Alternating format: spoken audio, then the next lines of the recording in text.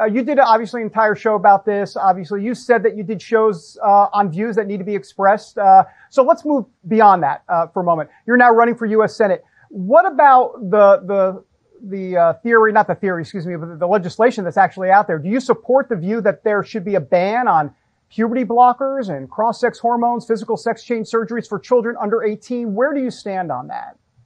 My big issue with the whole transgender movement with kids is it's based on false science. Let me give you a number that's going to blow your mind, David. 85% of young children who say they're transgender will go back to their biologic sex if they're just loved and let be. They'll, you know, Johnny will walk around in mommy's shoes for a while and then she, he'll figure it out and go back to the way he was biologically conceived.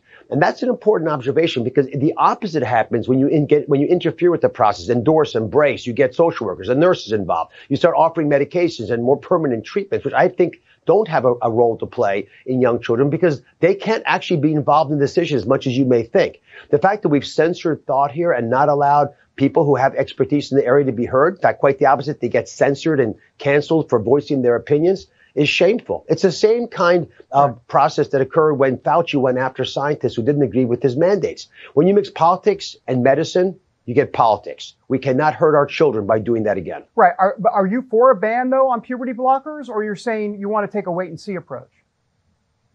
Well, I would not. I, I want a doctor to make a decision with the patient, but I'm very dubious of giving young children puberty blockers, surgery, or anything else. I mean, I can't imagine scenarios uh, where that would be welcome. But I don't want to interfere with doctors and parents working together. Okay. This is a kind of issue as a physician I feel very strongly about. This is a precious covenant that we have there. You bet. Uh, on abortion, I know